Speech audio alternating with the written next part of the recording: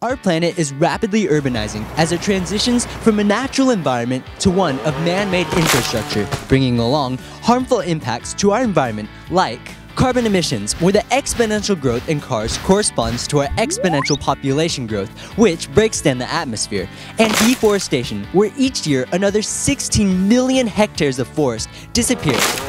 I'm here at my city's bus station with the potential technological solution to all these problems. Hi, uh, my name is uh, David. These solar canopies right here, the way they produce uh, electricity, it uh, takes the sunlight and it converts it into AC electricity. Having them at a standard suburban home of 2,000 square feet with four residents to help carbon emissions, it saves 70 road trips across the US and to help deforestation, conserves 400 trees. Here's the site of one of 10 of our city schools, all of which are constructing photovoltaic canopies right now. So when I talk about those carbon emissions, that's like reducing 130,000 tons of carbon emissions over 20 years, which is like going around the Earth 12,000 times. And for deforestation, the reduction of greenhouse gases from the solar project is equivalent to planting 1,050 acres of trees.